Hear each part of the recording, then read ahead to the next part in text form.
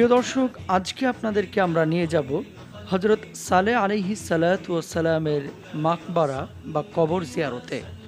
আজ জাতির ধ্বংসের প্রায় পাঁচ শত বছর পরে হজরত সালে আলিহি সালাম কৌমে সামুদের প্রতি নবী হিসেবে প্রেরিত হন। কৌমে আয়াদ ও কৌমে সামুদ একই দাদা ইরাম এর দুটি বংশধারার নাম। কৌমে সামুদ আরবের উত্তর পশ্চিম এলাকায় বসবাস করত। তাদের প্রধান শহরের নাম ছিল হিজর, যা শাম দেশ, অর্থাৎ সিরিয়ার অন্তর্ভুক্ত। বর্তমানে একে সাধারণভাবে মাদায়ানে সালেহ বলা হয়। আজ জাতির ধ্বংসের পর সামুদ জাতি তাদের স্থলাভিষিক্ত হয়। তারাও আজ জাতির মতো শক্তিশালী ও বীরের জাতি ছিল। তারা প্রস্তুর খোদাই ও স্থাপত্যবিদ্যায় খুবই পারদর্শী ছিল। প্রিয় দর্শক, আমরা হজরত সালে আলিহি সালামের মাকবারা আজকে জিয়ারত করব এবং কমে আয়াদ কমে সামুদ সম্পর্কে আপনাদেরকে অবগত করব ইনশা আল্লাহ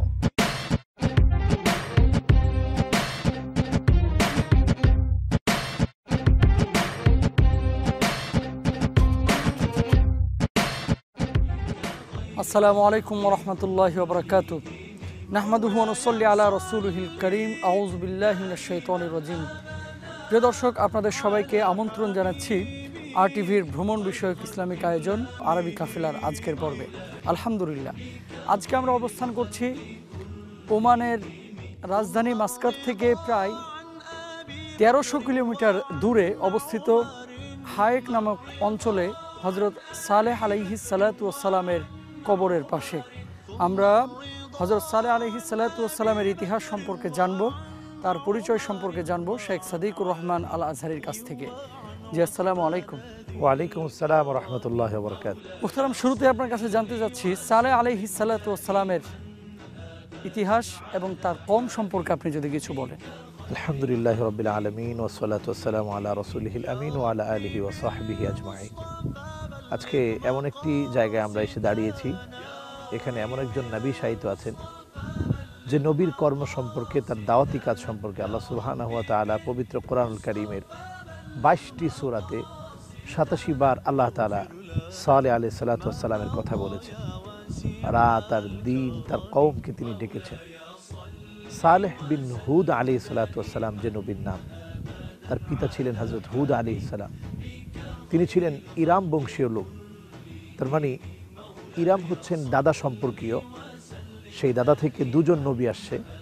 একজন হচ্ছে হজরত হুদ আলী সালাতাম আরেকজন হচ্ছে হজরত সালে আলী সালাতাম সালে আলী সালাতাম একই দাওয়াত প্রদান করেছেন, কালেমার দাওয়াত, আবার এই একই দাওয়াত প্রদান করেছেন হুদ আলী সালাতাম হুদ আলাই সালাতামের কৌমের লোকেরা, হুদ আলাই সালাতামের সাথে আজ জাতির লোকেরা এমন ব্যবহার করেছে আল্লাপাক তাদেরকে শাস্তি দিয়েছে। তাদের শাস্তির পথ যেতে না যেতেই পাঁচশত বছর পরেই এই সামুদ জাতি তাদের স্থল অভিষুক্ত হয়েছে। স্থল অভিষুক্ত হওয়ার পরে তারাও নবীর সাথে একই রকম আচরণ যখন করল, একইভাবে যখন তাও হিদকে অমান্য করল সালে আলি সালাতামের সাথে যখন তারা বিরুদ্ধাচরণ করল, আল্লাহ পাকের নিদর্শনকে তারা যখন অস্বীকার করল, কেমন যেন টাটকা আজাবের গন্ধ তারা পাচ্ছিল। সেই মুহূর্তেও তারা নবী সালে আলি সালাতামের দাওয়াতকে কবুল করেনি। আজকে এই কবরের এখানে এসে যে বিষয়টি আমাদের স্মরণ রাখা দরকার, নবী আম্বি আলিহমুসালাম গোটা জীবন দিয়ে কমের লোকদেরকে দাওয়াতের দিকে ডেকেছে। সমস্ত নবীদের কাজ ছিল এটা। আর যখনই নবীরা এই দাওয়াতি কাজ করেছে, তখন কিছু কিছু গুটি কয়েক মানুষ দাওয়াতে সাড়া দিয়েছে কোরআন করিমে আল্লাহ রব্বুর আলমিন সালে সালাতামের দাওয়াতি কাজ তুলে ধরতে গিয়ে আল্লাহ তালা এইভাবে বলছেন وإلى ثمود أخاهم صالحا قال يا قوم اعبدوا الله ما لكم من إله غيره সালে আলি সালাতাম তার স্বীয় কওমের লোকদেরকে এই ভাষায় ডাকলো ও আমার কওমের লোকেরা এক ইলাকে ছেড়ে, এক আল্লাহকে ছেড়ে তোমরা কার এবাদত করো? কার কার দিকে তোমরা চলো? কাকে তোমরা ডাকো? কাকে তোমরা উপাস্য মানো? তোমাদের আগের জাতিগুলোকে আল্লাহ তালা শাস্তি দিয়েছেন? সেই ইরাম বংশীয় সালে আলি সালাতাম দিনকে রাত তিনি দাওয়াতি কাজ করে গেলেন। গুটি কয়েক মানুষ ছাড়া কেউ দাওয়াতি কাজকে গ্রহণ করেনি। আজকে এখানে এসে সেই সামুদ জাতির যিনি নবী ছিলেন সালে আলি সালাতাম সেখানে এসে আমরা সালে আলি সালাতামের মাকবারাটা জিয়ারাতে এসেছি। এখানে আসলেই নবীদের সাথে কাফের বেঈমানরা কীভাবে বিরুদ্ধাচারণ করত সেই স্মৃতিগুলো আমাদের মনে পড়ে যায়। আল্লাহ পাকের একত্ববাদের কথা স্মরণ হয়। আল্লাহ পাক আমাদেরকে একনিষ্ঠ মুসলিম মমিন হিসেবে আল্লাহ আমাদেরকে কবুল আর মঞ্জুর করে নেয় হুদ আলাইহি সালাতামের সাথে সালে আলাইহি সালাতামের সম্পর্কটা কি ছিল মোহতারাম? এ বিষয়ে যদি বলেন। এখানে লেখা সালেহ বিন হুদ। আরবিতে যখন বিন মাঝখানে থাকে, এর দ্বারা প্রমাণিত হয় যে হুদ আলী সালাতামের সন্তান ছিল সালে আলী সালাতাম এবং তারা বংশ পরম্পরার যে চেইন আছে, এটা মূলত ইমাদ, আল্লাহ তালা কোরআন কারিমের ভিতরে বলেছেন। ওই ইমাদ গোত্রীয় লোকেরা তারা বিভিন্ন পাথর কেটে পাথরের কাজ তারা করত, ওই পাথরের ভিতরে তারা গড়বাড়িগুলো বানাতো। এই একই কাজটা ছিল আদ জাতির কাজ, আবার একই কাজটা ছিল সামুদ জাতির কাজ। কারণ হুদ আলাই সালাতাম ছিলেন বাবা আর তার ছেলে ছিল সালে আলাই সালাতাম দুজনের দায়িত্বই ছিল আল্লাহ রব্বুল আলমিনের দিকে ডাকা। যেমনি আমরা সালে আলাই সালাতামের কথা বললাম, আমরা যদি কোরআন কারিমে দেখি, সেই আদ জাতির কথাও আল্লাহ তালা একইভাবে একই ভাষায় আল্লাহ তালা উল্লেখ করলেন। ও ইলা আদিন আখাহুম হুদা قال يا قوم اعبدوا الله ما لكم من إله غيره তিনিও তার কমের লোকদেরকে একইভাবে ডাকলেন তোমরা এক আল্লাহ ছাড়া কাকে তোমরা ডাকছো যখন তিনি তাদের অবাধ্যাচারণে ধৈর্য ধরতে ধরতে যখন তিনি একেবারেই শেষ পর্যায়ে চলে আসলেন আল্লাহ পাকের কাছে আজাব চাইলেন আল্লাহ পাক তাদেরকে আজাব দিয়ে শেষ করে দিলেন আজ জাতিকে শেষ করে দেওয়ার পরে পাঁচশত বছর আল্লাহ তালা আহলে ফাতরা ওই সময়টাতে নবুয়ত কেউ প্রাপ্ত হয়নি। সালেহ সালাতাম খুবই যৌবনকালে তিনি নবুয়তি লাভ করেন। তিনি ওই একই দাওয়াত দিয়ে থাকেন। তারাও যখন অবাধ্যাচারণ করে তখন দোয়া করেন। আল্লাহ পাকের নবী হাদিস শরীফের ভিতরে জানান, ওয়ালিকুল্লি নবী ইন দাওয়াতুম মুস্তাজাবা। নবীরা যখনই আল্লাহর কাছে অবাধ্যাচারণ সহ্য করতে করতে করতে করতে করতে করতে যখন একটা পর্যায়ে দোয়া করে ফেলে, আল্লাহ পাক তখন কাউকে আর ছাড়েন না। আল্লাহ তালা আল্লাহর আজাব দিয়ে পাকড়াও করেছে। যে সমস্ত জাতি গোষ্ঠীগুলো আল্লাহর আজাবের সম্মুখীন হয়েছে, তার মধ্যে আদও একটি এবং সামুদও একটি। আদ এবং সামুদ এই দুই গোষ্ঠী আল্লাহ পাকের আজাবের সম্মুখীন হয়েছে। এজন্য তাদের মধ্যে সম্পর্ক হচ্ছে পিতা পুত্রের সম্পর্ক। ধন্যবাদ মুহতারাম। প্রিয় দর্শক, আপনারা দেখছেন এই আরবি কাফেলা। সময় হয়েছে একটি বিরতিতে যাবার। বিরতির পরে ইনশাআল্লাহ তালা আপনাদেরকে আমরা হজরত সালে আলহি সালাতামের কবরের সন্নিকটে নিয়ে যাব। আশা করছি আমাদের অপেক্ষায় থাকবেন ইনশাআল্লাহ।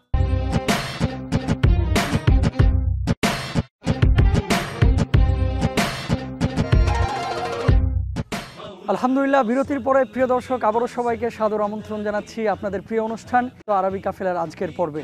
আমরা হজরত সালে আলহি সালাতামের কবর মুবারকের একেবারে সন্নিকটে চলে এসেছি। আমরা কবরের ভেতরের চিত্র আপনাদেরকে দেখাবো। তার আগে শেখ সাদিকুর রহমান আল কাছে আবারও চলে যাচ্ছি। যে মোহতারাম, নবীদের দায়িত্ব তো ছিল আল্লাহ সুবহান হুয়া তালার পক্ষ থেকে বিশেষ বার্তা, কওমের কাছে পৌঁছে দেওয়া, রিসালাতের দায়িত্ব যথাযথভাবে পালন করা। তো নবী এখন নেই, আম্বি আলহিমসাল্লাতুয়াসাল্লামও নেই। নবীদের অনুপস্থিতিতে তাদের দায়িত্ব কাদের উপরে বর্তায়, এ বিষয়ে যদি বলেন। রেসালাতের দায়িত্ব বলতে বুঝি নবী আম্বি আলিহসালামদেরকে আল্লাহ রব্বুল আলমিন যে গোড় দায়িত্ব দিয়েছে। এই দায়িত্বটি আল্লাহ পাকের পক্ষ থেকে একটা সিলেকশনের দায়িত্ব। এটি কোনো মানুষ, কোনো ব্যক্তি তার নির্যোগ্যতায় কখনো প্রাপ্ত হয় না। নবী আম্বি আলী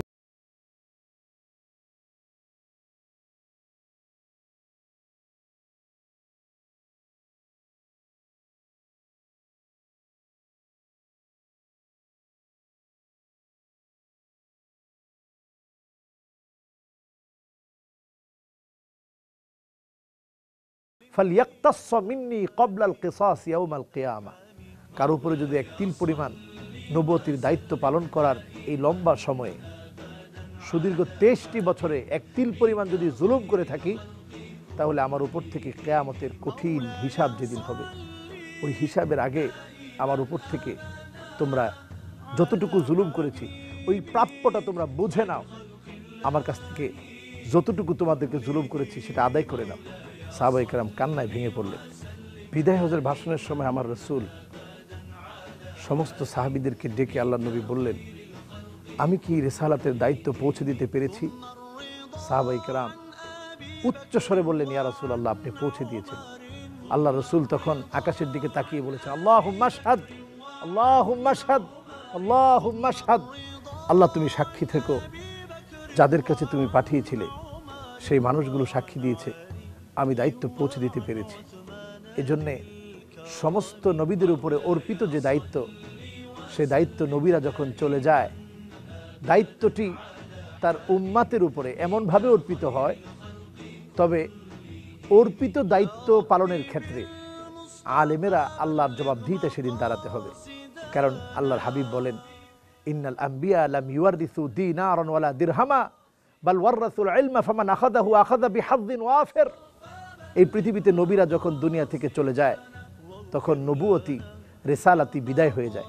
কিন্তু তাদের রেখে যাওয়া যে মেসেজ এই মেসেজটুকুন কিন্তু থেকে যায়। নবীরা রেখে যান আল্লাহ পাকের পক্ষ থেকে। তাওহীদের যে আমানত দেওয়া হয়েছিল সে আমানতটা নবীরা রেখে যান। সেটাকে প্রচার করা প্রত্যেকটা আলেমের দায়িত্ব। ধন্যবাদ মোহতারাম জাজাকাল্লাহ খায়ের প্রিয় দর্শক, আমরা যেহেতু সন্নিকটে চলে এসেছি, এখন আপনাদেরকে আমরা জিয়ারতে নিয়ে যাব, অর্থাৎ ভেতরের চিত্র দেখাবো। চলুন দেখে আসি।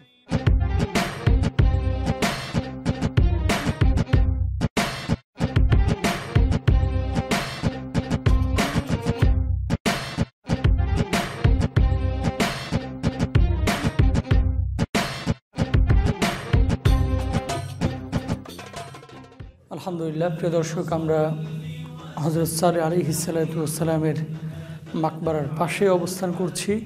আমরা মোহতারাম শেখ সাদিকুর রহমান আল আজহারের কাছে যাব। মোহতারাম, আপনার কাছে জানতে চাচ্ছি, কবর জিয়ারতের আদব কি? মাসনুর পদ্ধতি কি? আল্লাহ রসুল সাল্লাহ আলহিহাল্লাম কি বলেছেন? নবী করিম সাল্লাহ আলী ওসাল্লামের গোটা জীবন যদি আমরা দেখি অহুদ প্রান্তে রসুল্লাহ সাল্লাহ আলি সাল্লাম বহু রাতে তিনি অহুদ প্রান্তে চলে যেতেন। প্রান্তের কাছাকাছি যখন রসুল্লাহ সাল্লাহ সাল্লাম পৌঁছাতেন, তখন তিনি একটি দোয়া পড়তেন। আসসালামু আলাইকুম দার কৌমিম মুমিনিন أتاكم ما توعدون غدا مؤجلون وإنا إن شاء الله بهم لاحقون হে মোমেনরা যারা তোমাদের স্থানীয় জায়গায় চলে গিয়েছো তোমাদের আসল জায়গায় যারা ঘুমিয়ে আছো অচিরেই আমরাও তোমাদের সাথে মিলিত হয়ে যাব, মোলাকাত হয়ে যাবে, সাক্ষাৎ হয়ে যাবে। তোমরা যেমন আল্লাহর ওয়াদাগুলা পরিপূর্ণভাবে পেয়েছ, আমরাও আল্লাহ পাকের ওয়াদাগুলা পেয়ে যাব। এই জন্য কবর জিয়ারতের বেসিক্যালি আদব হচ্ছে মৃত্যুর কথাটাকে স্মরণ করা। কিন্তু আমরা আমাদের দেশে অনেক সময় ভিন্ন রূপ দেখি। কবর জিয়ারতের নাম করে কবরের ভিতরে চুম্বন করা অথবা কবরের ভিতরের যে গিলাফ আছে সেই গিলাপ দিয়ে নিজের চেহারা মোছা, অথবা কবরের ভিতরে আগরবাতি জ্বালানো, কবরের ভিতরে মোমবাতি জ্বালানো, এগুলো সবগুলোই কবর জিয়ারতের আদবের খেলাফ। জি, ধন্যবাদ মোহতারাম। মোহতারাম, যেহেতু আল্লাহর একজন নবীর কবরের পাশে আমরা এসেছি, নবীর আদর্শ আমরা আমাদের দৈনন্দিন জীবনে যাতে করে বাস্তবায়িত করতে পারি, গোটা বিশ্বের মুসলিম উম্মাহের কল্যাণের জন্য আমরা এই বরকতময় জায়গায় আল্লাহর দরবারে এখন ফরিয়াদ করব। ربنا لا تزغ قلوبنا بعد إذ هديتنا وهب لنا من لدنك رحمة আমিন إنك أنت الوهاب آمين. إله العالمين أكرم الأكرمين الله হেদায়েতের মশাল জানানোর জন্য পৃথিবীতে যত নবী আম্বি আলাইহিমুস সালাম এসেছে তার মধ্যে সালে আলাইহিস সালাম একজন আল্লাহ তাআলা ওনারই মাকাম মোবারকে বরকতপূর্ণ জায়গায় তোমার শাহী দরবারে হাত তুলেছি।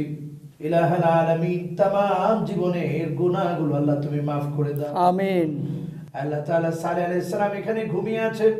গোটা পৃথিবীতে নবী আম্বি আলাইহিমুস সালাম পবিত্র জায়গাগুলোর বিভিন্ন প্রান্তে ঘুমিয়ে আছে। আল্লাহ আমরা একদিন দুনিয়া থেকে চলে যাব। যেদিন চলে যাওয়ার সময় আসবে তুমি দয়া করে মায়া করে জবানে জারি করে দিও মধুর কালেমা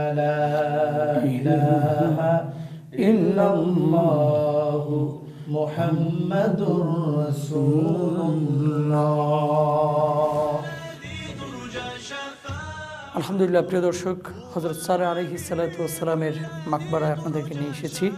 দেখালাম এবং ইতিহাস সম্পর্কে কিছু বলার চেষ্টা করলাম আমরা দুজনেই। একটি বিষয় শেষে না বললেই নয়, হয়তোবা অনেকেই আমাদের আরবি কাফলা নিয়মিত দেখেন।